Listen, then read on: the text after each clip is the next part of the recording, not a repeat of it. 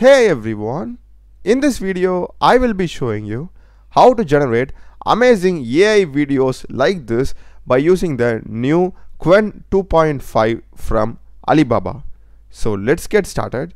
So first thing just google Qwen chat you will be getting the link as chat.qwenlm.ai just click this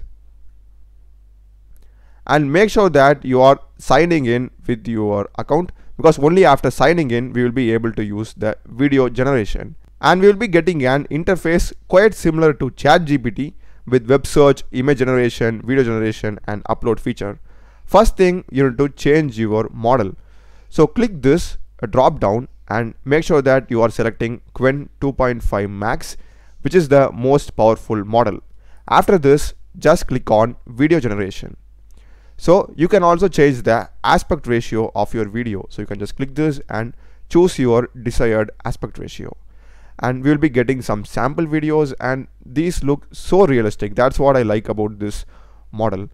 And I have asked DeepSeek to give us some prompts for this. So let's just try using one. So I'll just go with weather and atmosphere. This is like a tornado. So kind of looks good and I'll just run and send it. So this will take some time to generate the video. The reason is because a lot of people are using it and there is a lot of traffic. So you need to be really patient till you get your output.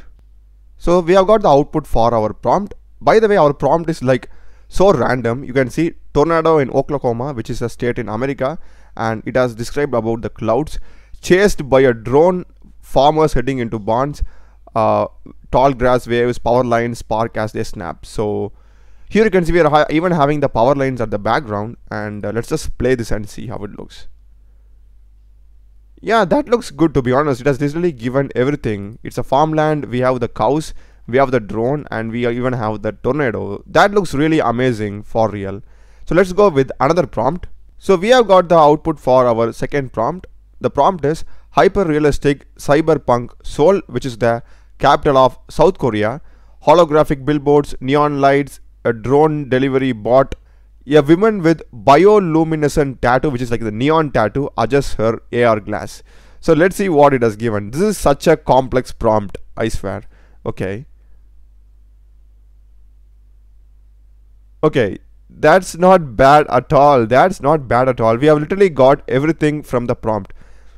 And note that these aren't like simple prompts, okay? These are complex prompts because there are like, this is a part and this is a part this is a part self-driving car.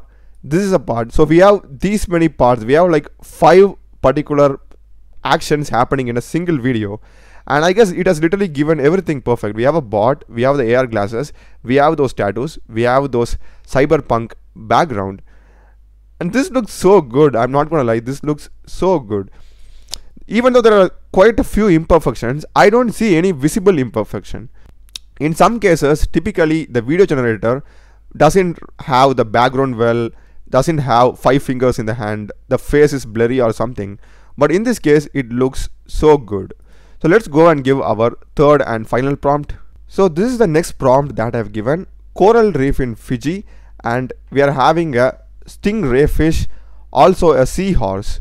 So let's see what it has given us. So we have the seahorse and uh, we also have a stingray at the background. But the coloring is quite bad in this video to be honest. But overall it still does the job. And that's the video guys. Do check the playlist of my channel. I've done a lot of videos in programming and AI tools. Subscribe me. Thanks for watching.